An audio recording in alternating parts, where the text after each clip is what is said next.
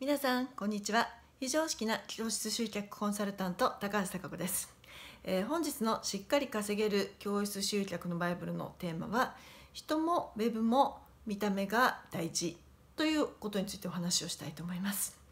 えー最近ですね、うん、ちょっと立て続けに、えーウェブの診断とかあ、まあ、コメントを出す機会が多くてですね、まあ、連続でいろんな、あのホームページとか、まあ、あとはそうですねイベントページとかそういうの添削をやってるんですけれどもやはりですねあのビジュアルで考えた場合ですね特にあの女性がターゲットの場合にはもう一番最初の見えるトップページの一番上の画像ここがうーんまあ写真的なのかあとはま文字の方なのかは別としてうーん自分に関係あるとかあこれいいかもってこの第一印象が、えーものすごく大事になってくるなっていうのを改めて見ててあの感じるんですよ。やはりその第一印象がですね、うん、例えば写真が暗いとかですねあのキャッチコピーが全然キャッチコピーになってないいやキャッチコピーっていうのは捕まえる文章っていう意味なのでうん例えばそれが本当に普通にどこにでもありふれていてしょっちゅう見ているようなそんな文章とかだとまあまあちょっと極端な話ですけどね例えばあの日記とかでもですね今日7時に起きた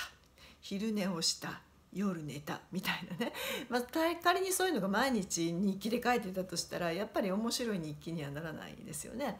例えばその今日例えば夏休みの子供の日記だったとしてもですね今日はプールに行ってお父さんとなんとかでとかっていうちょっと変わったこととかがね書いてあればあその続きはどうなんだろうっていうのを当然読んでみたいとか思うわけですよね。だからあのキャッチコピーっていうのは、うん、やはりその下の文章とかサイトの中身を見てもらうために、まあ、その、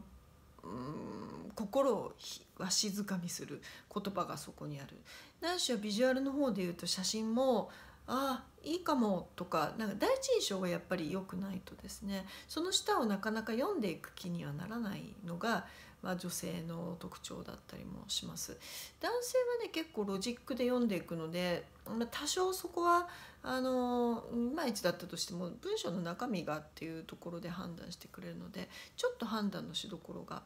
違ったりとかはしています。だからあの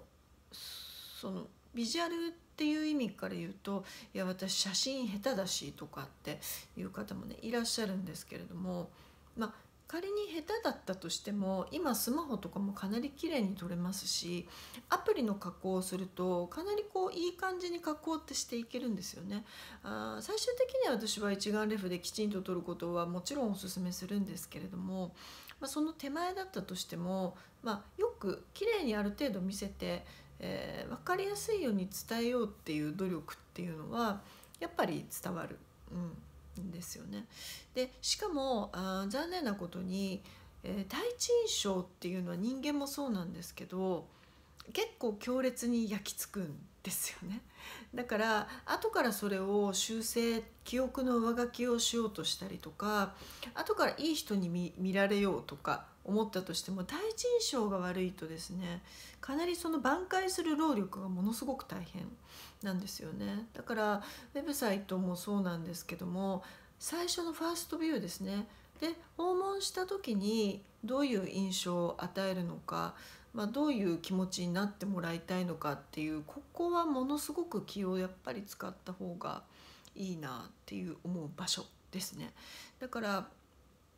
まあ私結構添削すると、まあ、修正点修正点って言ってよく生徒さんに直してもらうんですけれどもうーんやはりですねちゃんと作ったページでこれ響かないとおかしいよねっていうような作りをしてるものはあっという間にやっぱり満席になりますね。あのもちろんそれは見た目の問題もそうなんですけれども、えー企画とかそのものですね。そのものの企画がやはり支持されるような企画になっているかっていうとこが一番のポイントで、えーそれを伝える内容の文章。でそれを伝える内容の写真。でその、えー見せていく上でのフォントサイズフォントのスタイルあとは色合いとかあとフォームの位置申し込みフォームの位置えー支払い方法がしやすい内容なのかそうじゃない内容なのかとか、まあ、そういうのも全部含めてま添削をしていくわけなんですけどもそれが最適化といって一番いい状態を作ることができたら、まあ、ようまくお客様をそこに連れてくる要は見せることができたら申し込みが入るっていうものを作ることができるので。その取っかかりである一番最初の一番上ファーストビューここはやはりあのすごく気を使っていただきたいなという